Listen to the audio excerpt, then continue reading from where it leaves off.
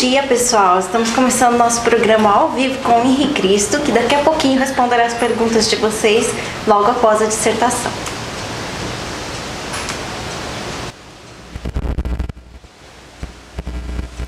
Que a paz seja com todos vocês. Ó Pai, eterno e inefável, Deus infalível, Criador do Universo, das culminâncias do Teu reino, do trono do Teu poder, do do qual Teus olhos temíveis tudo descobrem, tudo veem. Abençoe Teus filhos com saúde, luz e justiça, porque Tua é toda glória para todo sempre, ó Pai.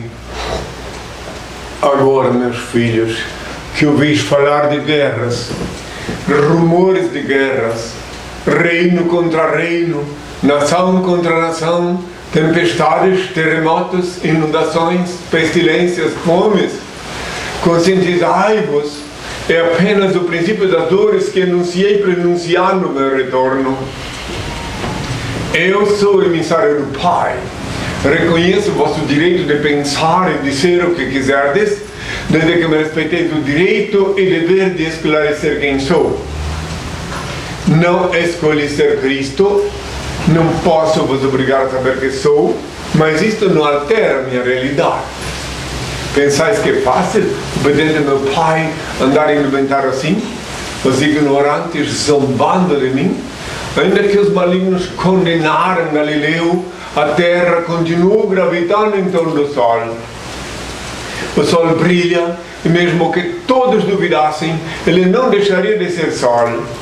Assim também, ainda que a maioria dos terráqueos não creiam que sou Cristo, continua sendo o mesmo que crucificaram. Não me é facultado abrir a cabeça do Nécio com um serrote e introduzir-lhe um bilhetinho dizendo acorda-te, ignorante, desperta-te. Sou ainda Cristo, filho do homem. Somente o demônio. Herodes, possuído pelo demônio, pediu e exige milagres. Maligno disse, enquanto jejuava dois mil anos, se és o filho de Deus, transforma estas pedras em pão. Ao que lhe respondi, nem só de pão vive o homem. Em verdade, em verdade vos digo, eu não preciso provar nada a ninguém, porque o óbvio é o lulante, não carece de provas. Vós, meus filhos, é que necessitais provar que sois dignos de meu Pai, Supremo Criador, único ser incriado, único eterno, único ser digno de adoração e veneração, onipresente, onisciente, onipotente, único Senhor do universo. Lembrai-vos que eu adverti, orai e vigiai que ninguém vos engane, porque muitos virão em meu nome. E os lobos em pele de ovelha vieram em meu nome antigo Jesus, como está previsto em Mateus 24, versículos 5 e 24, e com o fruto da delitosa chantagem do dízimo, adquiriram emissora de rádio e televisão para proceder com o engodo e a fantasia e inculcar na cabeça dos meus filhos as inverdades sobre a minha pessoa. E para diferenciar-me deles, meu pai me reenviou com um nome novo, Imre, o nome que eu paguei com meu sangue na cruz. Apocalipse 3, versículo 12. Imre é o nome que custou o preço do sangue, guardai-o em vossas cabeças e sereis fortes e felizes, meus filhos. Meu coração bate forte de amor por todos vós. Eu sou o libertador. Voltei a este mundo para libertar o meu povo do jugo dos falsos religiosos, dos grilhões da idolatria, da fantasia e da mentira. Amo a liberdade, por isso deixo livres os seres que amo. Se voltam, é porque me reconheceram que são meus filhos, dignos de meu Pai, Senhor e Deus. Se não voltam, é porque jamais tiveram parte comigo. Se verem em mim alguma coisa, o ato aparentemente faltoso e injustificável, o erro não está em mim. Na maldosa ótica de vossa visão. Em mim não pode haver erro, porque sou puro e vim sem livre-arbítrio a este mundo só para executar a vontade do Ser Supremo e Perfeito que me reenviou. E quando ousar julgar-me, estarei sendo julgado por Ele. Benditos são os olhos que me veem e veem quem sou. Benditos são os ouvidos que me ouvem e me reconhecem pela minha voz. Bem-aventurados sois vós, vós que me escutais, que vos falo, que eu escuto no meu Pai que em mim, e a paz com todos. Hoje estamos numa fase de experiência, responder perguntas que sobraram de ontem e para atender as solicitações daquelas pessoas que disseram que não poderiam no sábado nos assistir, porque infelizmente ainda trabalham no sábado.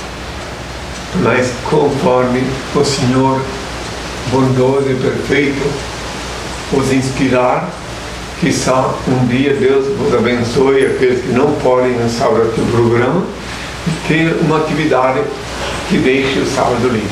Por enquanto estamos numa fase de experiência para ver se é possível uh, responder perguntas no domingo, que tenham toda a minha paz. Primeira pergunta de Arsênio, da África. Como ser vegetariano em meio a um país que a fome assola e que as pessoas se alimentam das oportunidades do que encontram dia a dia? Não seria o vegetarianismo um capricho humano? É, é muito triste ver o que eu já vi vindo da África. Muito triste ver a desorganização da agricultura, a desonestidade dos líderes, dos que poderiam cuidar da mãe terra a contento. Muito triste as imagens que eu já vi vindo da África, não vou nem enumerar, não vou nem dizer. Em caso de emergência, em caso de sobrevivência, não há como ser vegetariano. Haja visto o que aconteceu no Chile, na ocasião do acidente dos Andes. Vejam lá. Aí a sobrevivência fala mais alto. Ser vegetariano hoje em dia é uma benção, é uma, um privilégio, porque o mundo está de cabeça para baixo, as, os valores estão invertidos. Ainda respondendo essa pergunta, quero lembrar de novo a toda a humanidade que não me escuta, mas que um dia vai saber, que todo alimento que é providenciado para alimentar, para nutrir os animais que serão depois abatidos, assassinados para alimentar os humanos, seria suficiente para alimentar toda a humanidade se não tivesse essa política satânica de ambiciosa de gado de cor. Vocês têm uma ideia quantos milhões de animais que estão sendo tratados com comida que podia alimentar os humanos para depois serem matados para daí alimentar os humanos, além do trabalho que dá, além das dificuldades. Mas então, respondendo a pergunta do africano, quero deixar claro que na hora do, vamos ver, na hora da fome, o ser humano tem que comer o que se lhe apresentam. Como eu já disse há dois mil anos. Há dois mil anos eu disse para os discípulos, comei o que colocarem em vossa frente. Então eu sou coerente com o que já falei a Bíblia. Por que, que eu falei com meio que colocarem à vossa frente? Porque eles me seguiam como vegetarianos e quando mandei-os em missão fazer divulgação, é óbvio que nem todo mundo ia oferecer-lhes comida vegetariana. Então meu filho que me pergunta desde a África que o que tiver para comer e manter o corpo vivo é a lei da sobrevivência. Tenham todos a minha paz. Mas não deixem de assistir o filme Sobrevivente dos Andes. Lá tem melhor explicação. Procurar no YouTube, deve estar lá. Os sobreviventes dos Andes, para ver quando o ser humano foi obrigado a comer a carne dos próprios companheiros que estavam no avião que caiu lá nos, nos Andes. Meditem, assistam, que é muito interessante. Que a paz seja com todos. De Assis. Henry, o que o senhor acha sobre os cientistas estarem descobrindo a chamada partícula de Deus? Aquele projeto na Suíça e na França, o acelerador de partículas? Na Suíça, os cientistas descobriram a partícula de Deus, uma piada, meus filhos. Porque como Deus é onipresente, não precisam fazer pesquisa em laboratório, não precisam se esforçar, gastar dinheiro do Estado ou dos investidores para buscar uma partícula de Deus. Olhem para dentro de vós, vê se vosso sangue está quente, vê se vosso corpo se move. Olhem no espelho, vê se vossos olhos estão vivos não é meramente uma partícula de Deus. São muitas partículas de Deus que vês se olhares no espelho, se sentis vosso corpo, porque Deus, que é onipresente, vivifica cada célula de vosso corpo e cada partícula de vosso sangue. Logo, é perda de tempo procurar partícula de Deus em laboratório, em estudos científicos. Isso é uma, uma descida à ladeira da esquizofrenia, sem querer ofender ninguém, mas já ofendendo a todos aqueles que pensam que podem encontrar a partícula de Deus. Uma vez que Ele é onipresente, Ele é o Senhor do universo, o Criador Supremo, uh, procurai um grão de areia um grãozinho de areia, ali encontrareis uma partícula de Deus. Não precisa de laboratório, nada. Uma folha, um, um, um pequenino, até um inseto, encontrareis no inseto uma partícula de Deus. Porque o inseto não se move sem a animação do sopro divino. Então, essas são entre as muitas sandices que os cientistas estão procurando, uns contradizendo os outros. Já perceberam que um cientista diz uma coisa, daí daqui a pouco outro vem e contradiz aquilo que ele disse, nada contra o cientista, nada contra a ciência. Só que, às vezes, a racionalidade é salutar. Às vezes, o raciocínio equilibrado, coerente, é muito importante para quem estuda ciência. Daniel. E recentemente tomei conhecimento do Evangelho dos Doze Santos, em que Jesus fala sobre a reencarnação e outros temas que o Senhor explica. Qual o seu comentário sobre esse Evangelho? Não posso comentar nada quando não conheço.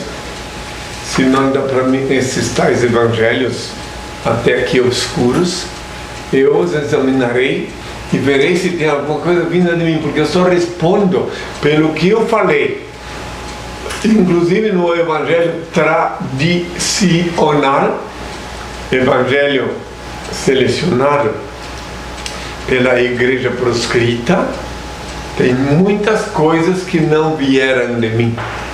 O Evangelho quero deixar bem claro se ir de pregar o Evangelho.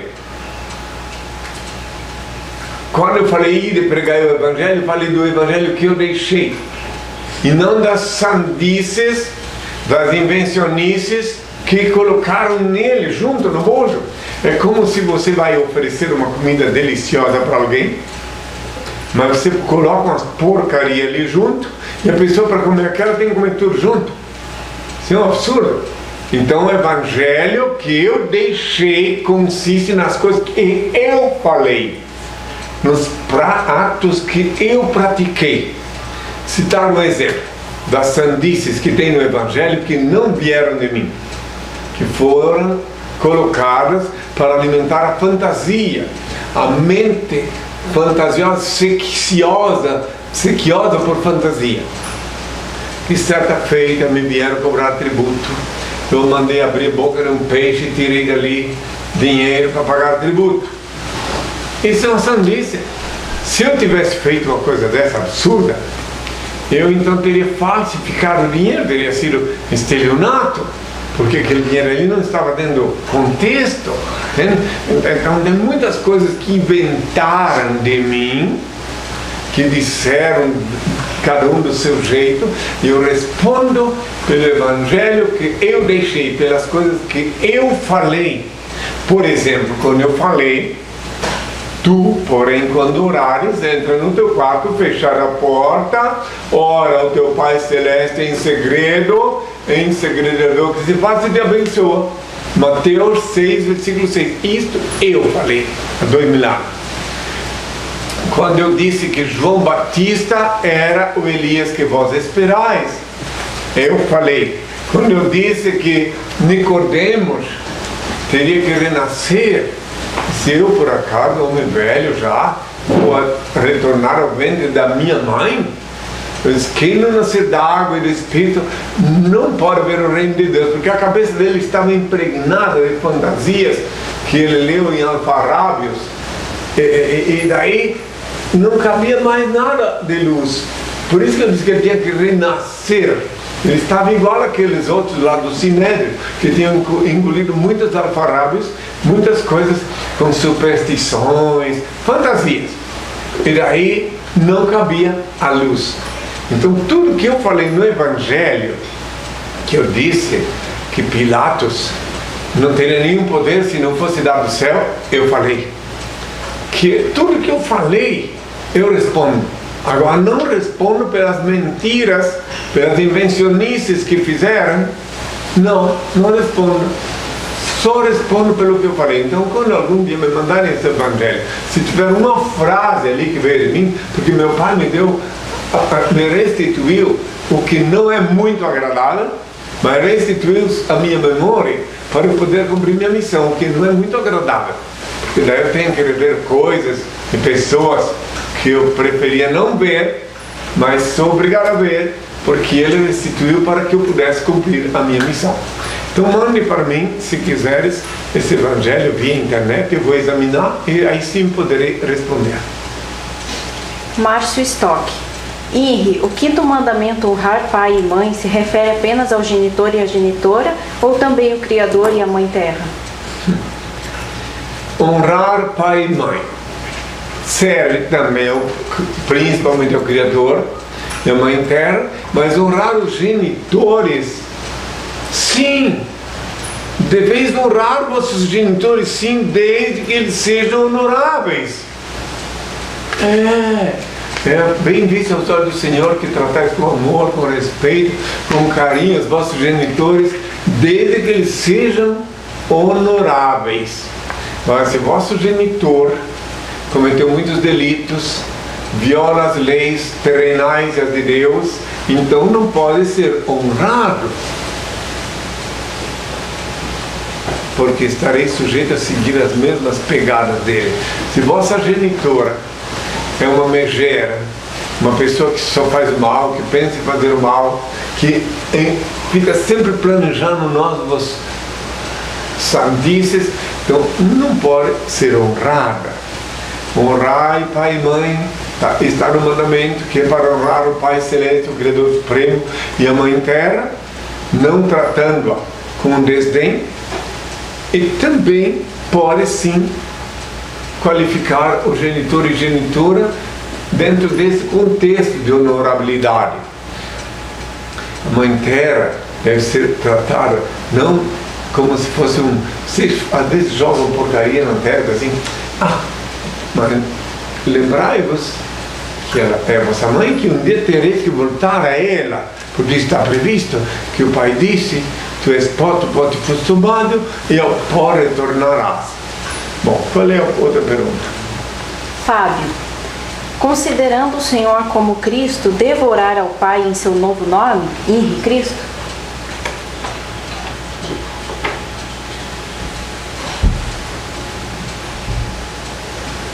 Honrar o Pai em nome. O meu Pai. Orar. Orar. Orar. Ah, orar? Sim, considerando. Não, se deve orar ao Pai direto. Vamos parar com esta fantasia, com esta idolatria imposta há milênios. Eu mesmo disse há dois mil anos assim: tu, quando orares, entra no teu quarto, fecha a porta, ora ao teu Pai Celeste. Em segredo ele vê o que se passa e te abençoa. Mateus 6, versículo 6. Eu não disse, ora ao Pai Celeste em meu nome, não. Ensinei ainda assim. Pai nosso que está no céu, santificado seja o vosso nome, venha a nós o vosso reino. como o reino de Deus agora já veio, já está instituído aqui na terra, aqui na Nova Jerusalém, no Apocalipse 21, Brasília, capital mística do mundo. Então agora não dá mais para pedir ao Pai, venha em nós vosso reino. Então agora devemos orar o novo Pai Nosso, que Ele mesmo me instruiu e disse que devo transmitir para a humanidade, que é muito mais belo e mais perfeito do que o Pai Nosso antigo, que já cumpriu a sua finalidade. Então o novo Pai Nosso é assim. O Pai eterno e inefável, Deus infalível, Criador do Universo, santificado seja teu nome, seja feita a tua vontade, assim na terra como no céu. Graças te dou pelo manchar que emana de ti. Aparta-me dos erros, ilumina-me, para que eu te sirva sem equívocos, glorificando-te hoje sempre, ó Pai. Porque agora, meus filhos, por que o novo Pai Nosso? Porque agora o tempo passou,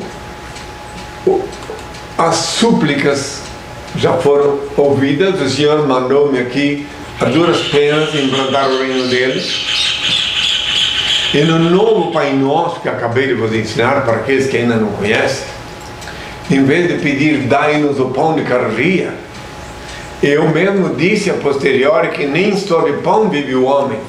Então nem te agradeceis o manjar que emana dele, que compreende o pão, o ar que respirais, a, a água, as frutas, tudo engloba todos os nutrientes que necessitais para o vosso corpo. Então, esse novo Pai Nosso é mais perfeito. E ao invés de pedir perdão pelos pecados, pelos pecados, no novo Pai Nosso, pedis, apartai-nos dos erros.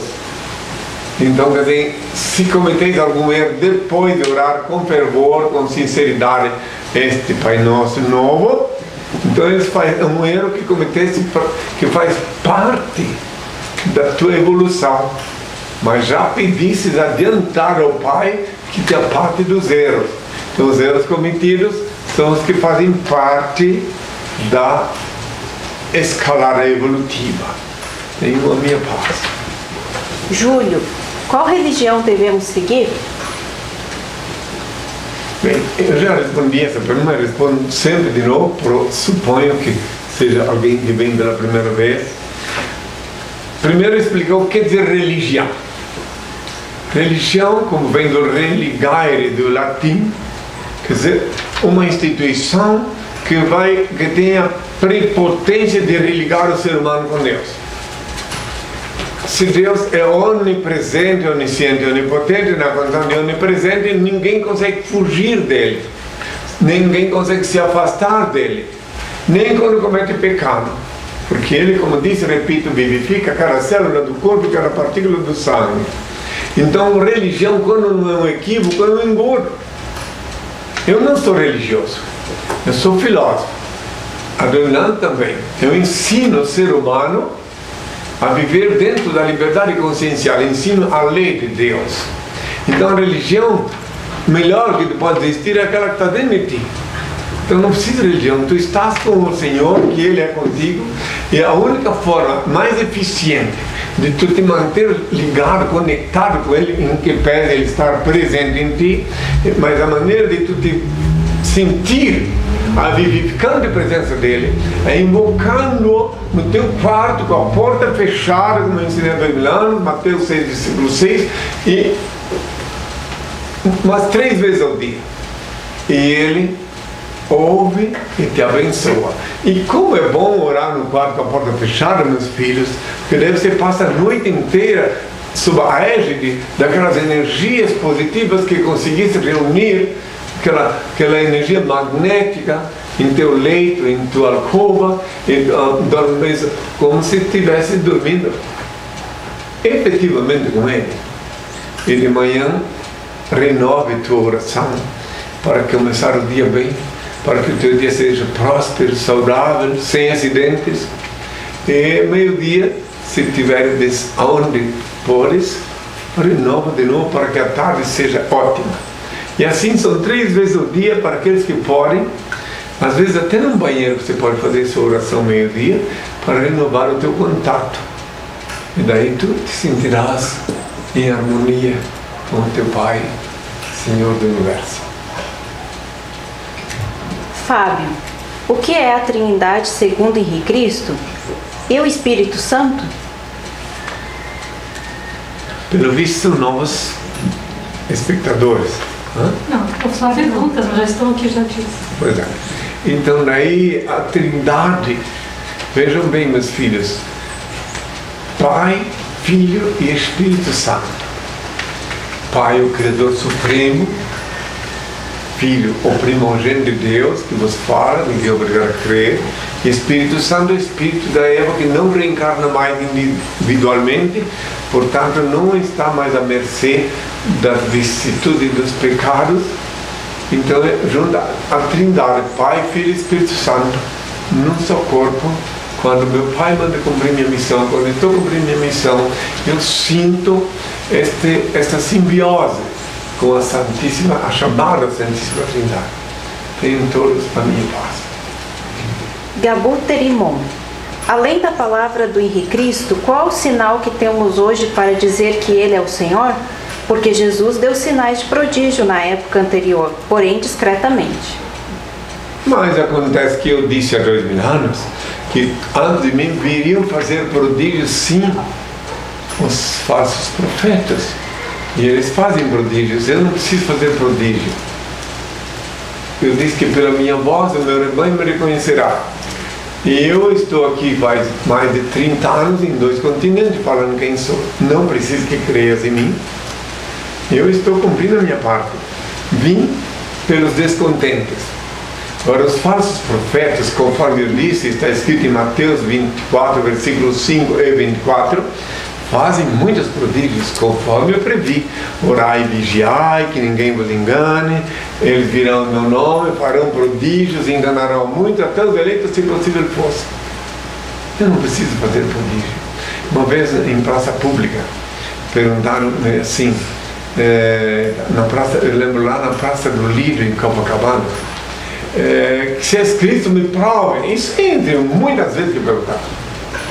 Eu peguei, tirei minha sandália e peguei, mostrei, olha, nem para limpar minha sandália não preciso de ninguém. Então eu não preciso provar nada para ninguém. Eu estou cumprindo minha missão e quem precisa provar alguma coisa, quem está precisando de alguma coisa. Por exemplo, se você vai procurar um emprego de motorista, você tem que ter, além de ter o teu currículo, tu tem que saber dirigir, tem que mostrar, pegar um veículo e mostrar que você sabe dirigir. Que você está pedindo emprego de motorista. Se você vai procurar um emprego de computador na computação, você tem que fazer, além de seu currículo, mostrar que você sabe manusear o computador. Se você vai procurar um emprego de padeiro, além das referências de antigo emprego, você vai ter que provar que você sabe fazer pão. Agora, como eu não estou pedindo nada de ninguém, não preciso de nada, porque eu vivo só para o Senhor e Ele é meu provedor. Então não preciso provar nada para ninguém. Meu pai disse que minha voz, pela minha voz o meu rebanho me reconhecerá. Ele disse que eu falo e eh, os meus filhos olham para minha face, percebem minha sinceridade, minha pureza e me seguem. E como eu não tenho ambição pessoal, como nunca vou possuir bens materiais, quero que os meus filhos sejam bem abastados, mas eu não vou possuir bens materiais. Então por que, eu teria que provar alguma coisa para alguém? Será que essa pessoa que perguntou para mim, que eu posso provar que eu sou Cristo, será que não é ela que está precisando provar que tem a mente livre do conteúdo intestinal para ver quem eu sou? Será que não é essa pessoa que está precisando? Às vezes ela está precisando limpar-se para olhar bem com pureza, porque quando me chamava Jesus, eu disse: Bem-aventurados corações puros, eles verão Deus. Eu vou resumir, eu disse assim: olha, prestai atenção que nisso aí dá para ter uma conclusão. Bem-aventurados pobres de espírito, o reino do céu será deles. Bem-aventurados mansos, eles herdarão a terra. Bem-aventurados que choram, eles serão consolados. Bem-aventurados que têm fome e sede de justiça, eles serão saciados. Bem-aventurados pacificadores, eles serão chamados filhos de Deus. Bem-aventurados misericordiosos, eles alcançarão misericórdia. Bem-aventurados corações puros, eles verão Deus. Bem-aventurados que são perseguidos por causa da justiça, o reino dos céus será deles. Bem-aventurados sereis quando vos insultarem, quando vos perseguirem e quando disserem falsamente contra vós toda sorte do mal por minha causa. Alegrai-vos e exultai, pois é grande a vossa recompensa lá nos céus. Foi assim que perseguiram os profetas que vieram antes de vós. A vossa luz brilha aos olhos dos homens, e quando eles veem as vossas boas obras, eles reinem em glória ao vosso Pai que está nos céus. E eu vos previno, não julgueis para não serdes julgados, porque da mesma forma com que julgardes, também vós sereis julgados, e com a medida com que tiverdes medido, também vós sereis medidos. Então, meus filhos, que eu preciso provar que sou Cristo, depois de 30 anos enfrentando o poder judiciário, enfrentei um processo de falsidade ideológica que se arrastou 15 anos na Justiça Federal do Brasil e finalmente o Egrejo Tribunal de Justiça foi coagido pelo meu pai a reconhecer que meu nome é em Cristo. Eu não sei. Eu, primeiro, quero deixar bem claro, ainda respondendo a pergunta desse jovem, dessa pessoa aí, que aquelas pessoas que creem que eu sou Cristo não merecem minha consideração, minha confiança. A minha confiança, a minha consideração só merecem aqueles que Deus revela lá no interior, lá no foro íntimo, minha identidade. Por isso que eu disse há dois mil anos, muitos serão chamados e poucos os escolhidos. Porque quando disse muitos serão chamados, eu estava referindo-me ao que eu faço hoje quando apareço na televisão, em qualquer mídia, e digo quem sou, porque vim, e daí não tenho fantasia, não tenho ilusões de que todos vão ver quem sou. Naquele momento que eu me exponho, mesmo não importa em que mídia, o objetivo principal, o único objetivo, é cumprir a vontade do meu pai de me expor para que os filhos dele, ouvindo minha voz e vendo meu rosto, cheguem à conclusão inspirados por ele. Mas alguém que Deus não revela quem sou, porque só Deus pode revelar quem sou para alguém. Continua navegando, não tem nada contra, continuo olhando com amor para todo mundo, mas confiar, Deus dizer assim, mas aí eu olhar para ele, para uma pessoa, eu tenho que sentir nos olhos a pureza.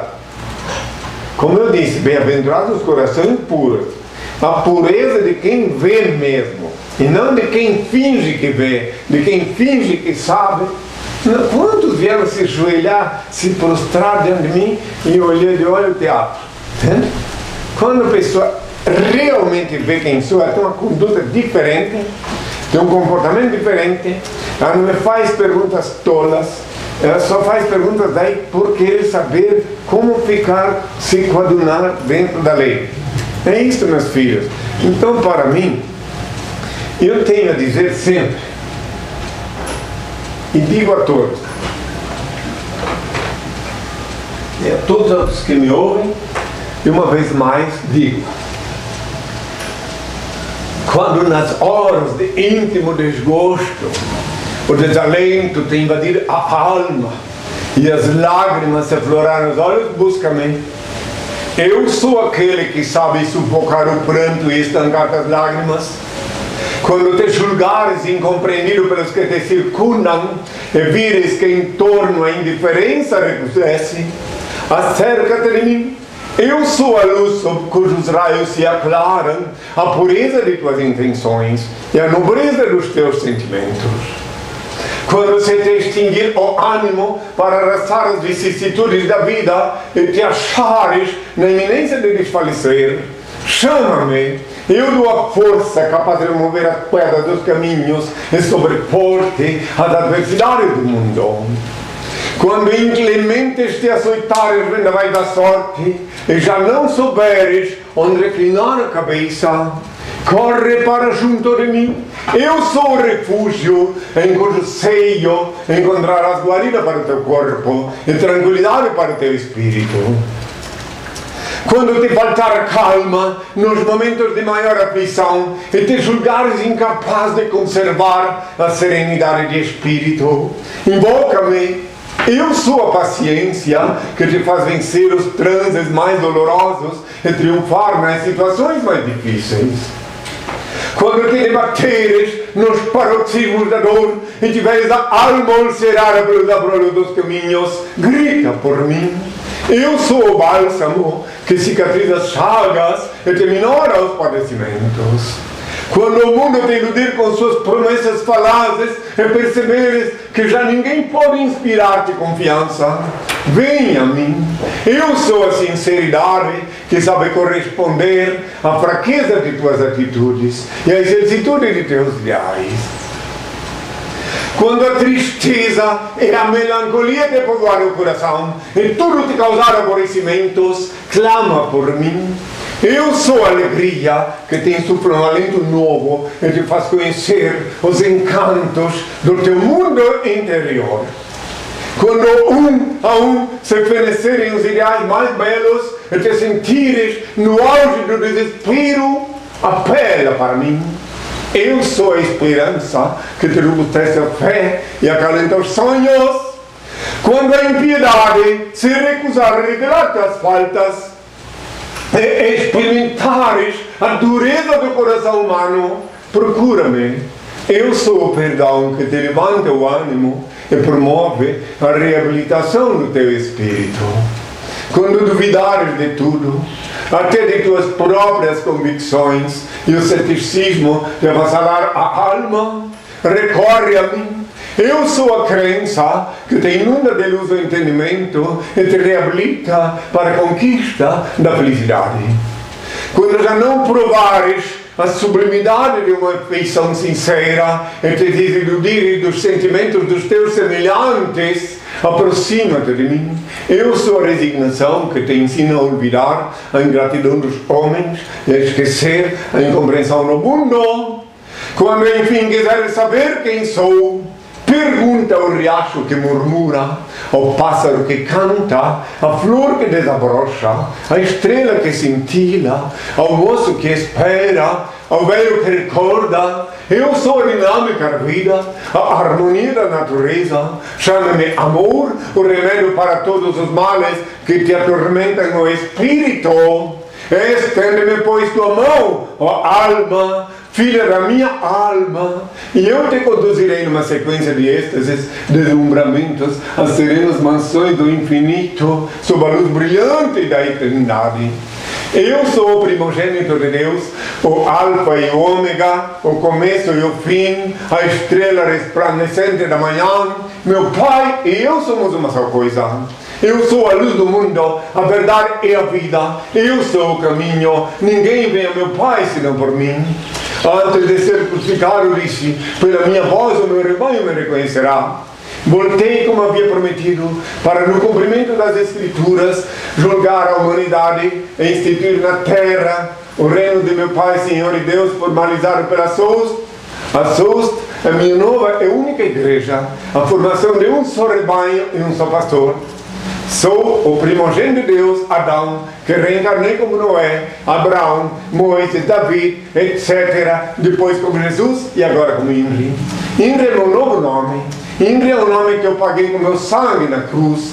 I-N-R-I. Inri, o nome que Pilatos escreveu acima de minha cabeça quando eu agonizava na cruz, quando cuspiam no meu rosto, quando me humilhavam, quando se cumpriam as escrituras. É o nome que custou o preço do sangue, guardai-o em vossas cabeças e sereis fortes e felizes, meus filhos. Meu coração bate forte de amor por todos vós. Não, nunca me canso de dizer o significado do meu nome que o Senhor me mostrou quando eu estava jejuando na França, em Inglaterra, quando ele disse que eu devo dizer claramente que é o nome que eu paguei com meu sangue na cruz. Bom, qual é a outra pergunta? Vamos para um breve intervalo, já voltamos. Voltando, pessoal, e a próxima pergunta é de Matheus Agostini, via Facebook. Henri, quando o senhor irá visitar nossa, sua cidade natal, Indaial, eu, gost, eu estaria disposto em... eu estaria disposto em o abrigar em minha casa, claro, se o senhor aceitar. Muito bem, tenho um filho lá em Dayal, né? Eu passo por lá sempre, mas geralmente quando eu passo por lá não tenho tempo para dormir lá, muito rapidamente, né? Mas de qualquer maneira, eu peço ao Pai que o abençoe com a prosperidade, saúde, enfim, pela ideia. A primeira vez que uma, um cidadão de Dayal disse que gostaria de me albergar. Fico feliz em saber que tem alguma alma lá que me ama, né? É, mas eu vou sempre passar por lá sim. Posso até avisar quando estou passando, mas não posso, geralmente não posso dormir, não dá tempo. Então, o tempo agora corre muito rápido, né? De qualquer maneira, fico muito feliz em saber que um filho meu lá em Dayal é, oferece para me albergar. Se um dia quiser me visitar, seja bem-vindo, tá, meu filho? O nome dele inteiro? Matheus Agostinho. Matheus, tá muito bem. Carla Fernanda Magalhães, via Facebook. Ing, o senhor acha que o rei Davi era gay? Eu li um artigo falando que ele era e tal, mas minha mãe leu a Bíblia e Davi e Jonatas, filho de Saul, eram amigos mesmo. O que o senhor acha? Será que esse povo está querendo só causar? Tem alguns momentos que Davi era gay. Sabe quando? Porque gay quer dizer alegre. Quando ele ficava alegre, ele era gay. gay quer dizer, segundo me conta, etimologicamente falando, era às vezes que ele estava alegre, depois de uma vitória. Aí ele tinha o um momento gay dele. Tá? E eu quero deixar bem claro que eu sou regente aqui na Terra sobre almas, né? Minha missão é cuidar, proteger das almas. O que as pessoas fazem com os corpos delas não, não me diz respeito. É claro que eu explico, oriento, para que conduzam-se da melhor maneira possível. Mas, inclusive, eu acho tão, tão assim, sem sentido de alguém se preocupar que deve ir aqui, né? Mas tudo bem. Gay, lembrem bem, segundo me consta, gay é alegre. Todo ser humano tem algum momento que ele é alegre. Ou seja, tem esse momento gay. Ou não é quer dizer alegre gay? É, é segundo me consta, alegre. Então pronto. Não tem, por acaso vocês nunca tiveram um momento gay de vocês? Alegre. Agora, pronto, acabou. Davi teve momentos alegres, sim. É. Depois também tinha que ficar sempre com a espada junto na hora de dormir, né? Pronto, qual é a próxima pergunta? Caputerimon. O que é Deus?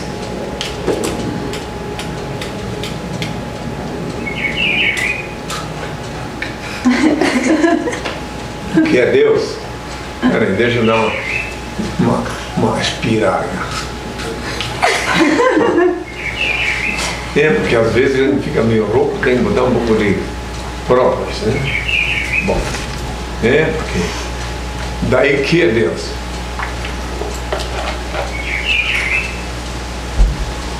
Para simplificar, meu filho, aliás eu acabei de explicar sobre isso ainda há pouco, mas não custa dizer de novo.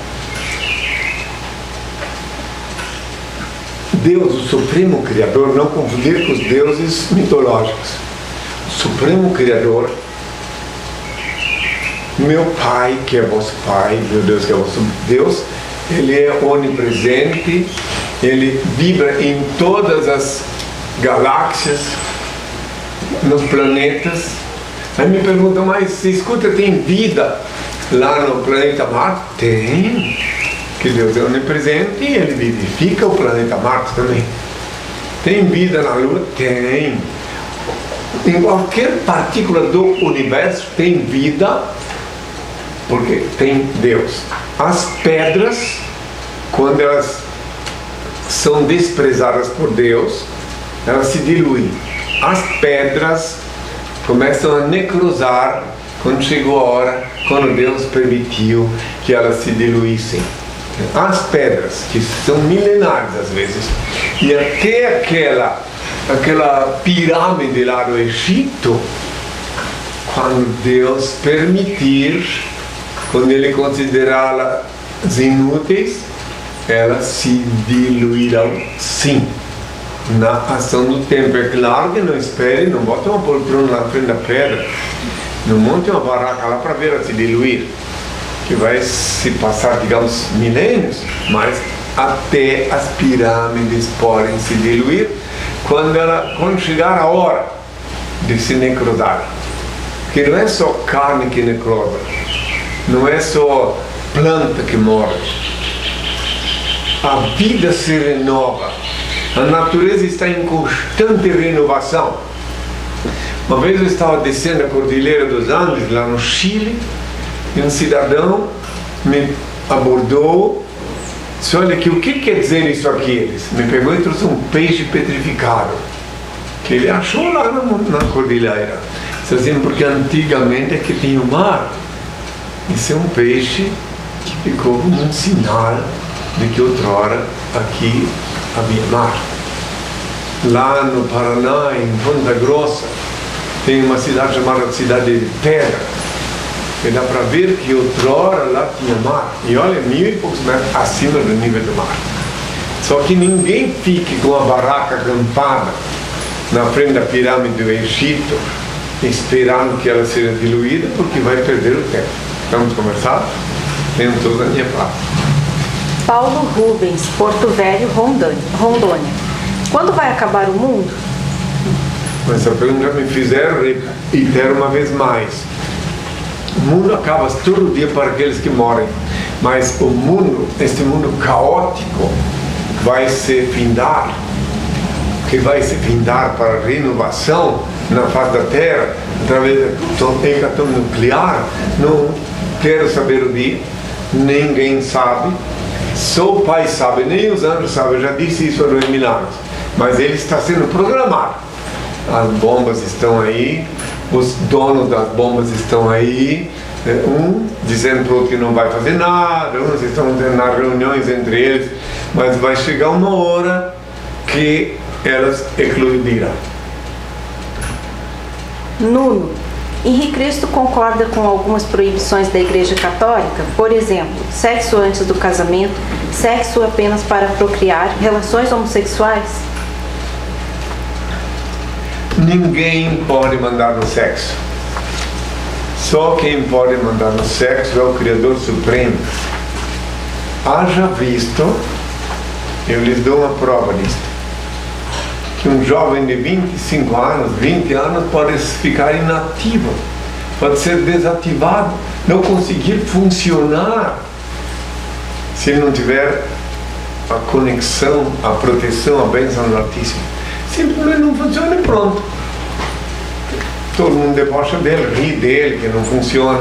Né? E não funciona. Então, sexo, ninguém pode mandar no sexo, só Deus. E se alguém quiser mandar no sexo, estará deixando aflorar uma bestial prepotência imensurável.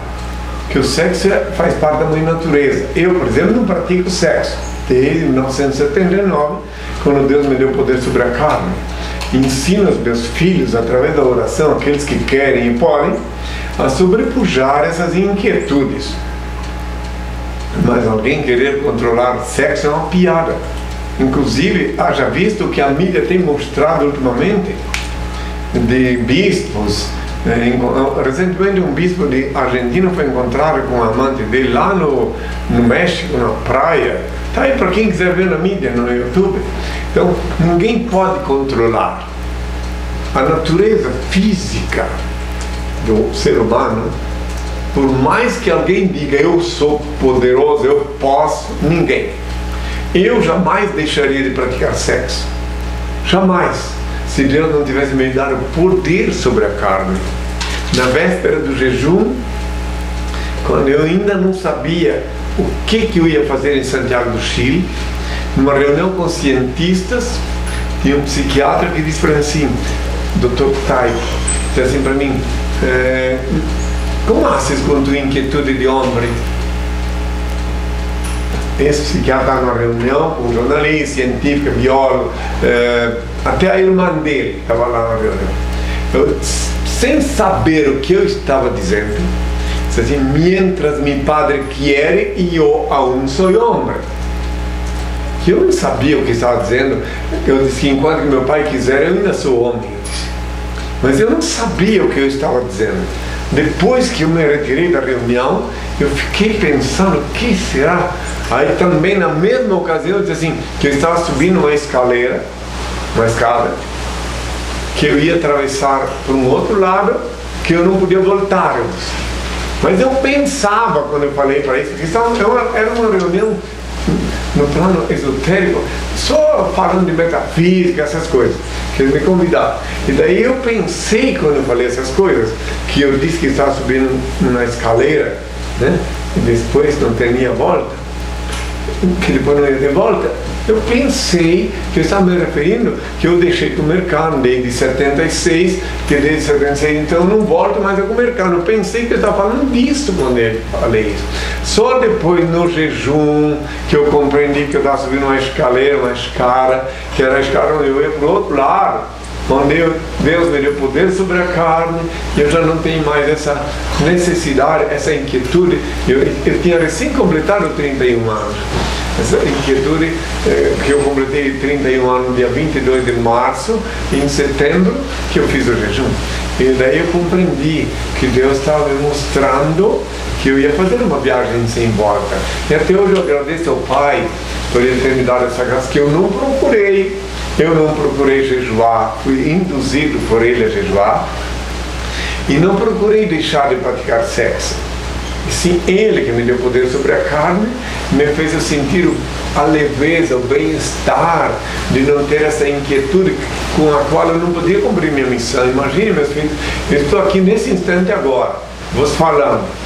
Se eu vivesse como homem, nesse instante eu podia estar pensando, puxa, onde estará minha mulher? O que ela estava fazendo, que ela podia ter saído. Então, meu Deus, meu Deus me deu poder sobre a carne, então eu olho para todos os homens e mulheres, como os que aqui estão, como meus filhos e filhas. Passa uma câmera assim para todo mundo ver os, os, filhos que estão, os poucos que estão aqui, porque nem todo mundo pode estar aqui. Passa para todo mundo ver. Daqui, ó. Entende? Então aqui, eu os olho todos como filhos e filhas. Tem até a nuvem que está ali com, com que ela está gripada, ela quer, não quer que ninguém pegue aquele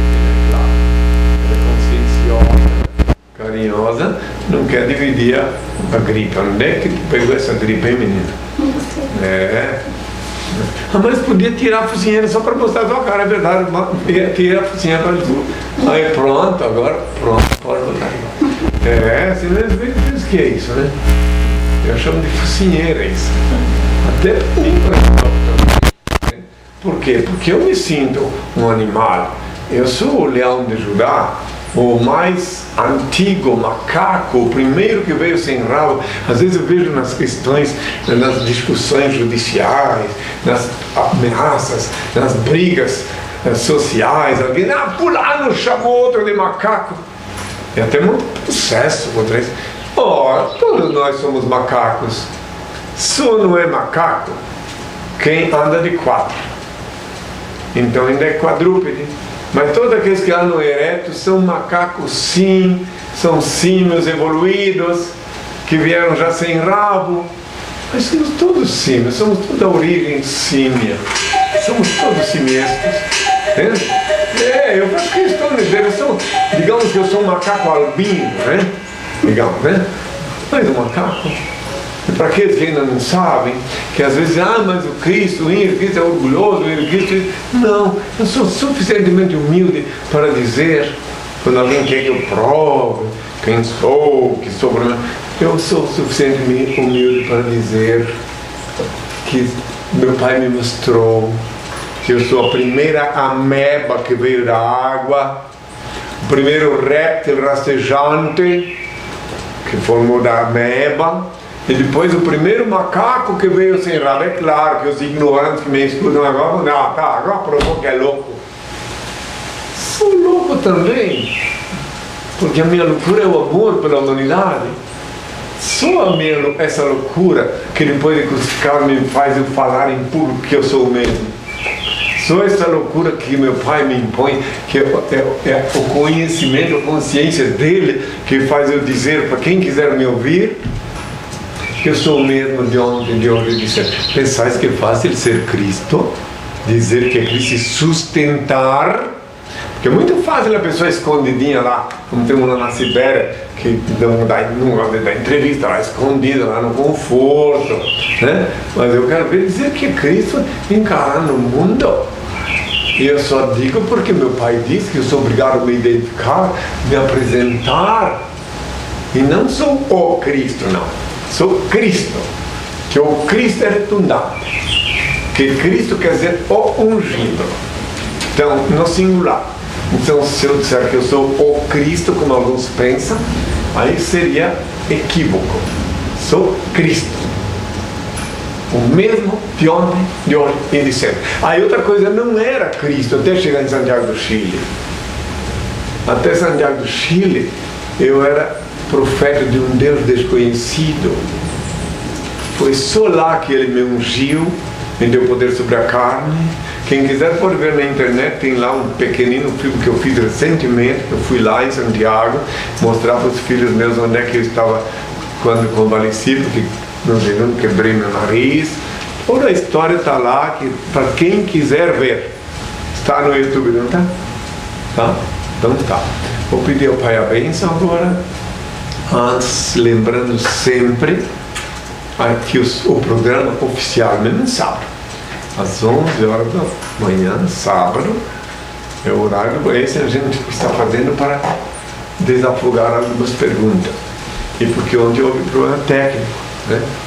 Provavelmente, sobrando perguntas, no sábado que vem, a gente volta a apresentar no domingo. Tudo depende do Senhor e das perguntas que surgem.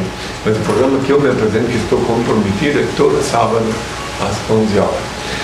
Ora, antes pedir ao Pai a bênção, que aliás a bênção que serve para os que estão chegando e também, principalmente, para a confraria dos beneméritos. E então eu quero lembrar uma vez mais que na luz de meu Pai, Senhor e Deus que é em mim, continuo amando todas as criaturas que se movem sobre a terra. Obviamente, coerente com a eterna e divina lei da igualdade, que consiste tão somente em distribuir-se desigualmente desiguais na medida em que se desigualam. Ó oh, Pai, eterno e inefável, Deus infalível, Criador do Universo, das culminâncias do Teu reino, do trono do Teu poder, do alto do qual Teus olhos temíveis tudo descobrem, tudo veem.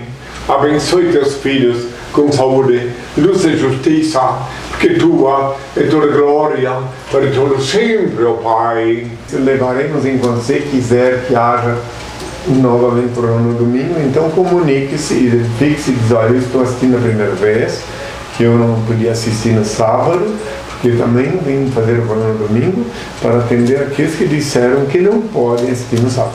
Então mande, avise, dizendo, olha, eu assisti pela primeira vez hoje, que no sábado não podia assistir. Isso vai influir para decidir se vamos continuar representando o programa no domingo. Porque o dia do programa, o horário oficial do programa é sábado às 11 horas. Tenho toda a minha paz. Excelente semana para vocês e até sábado às 11 horas.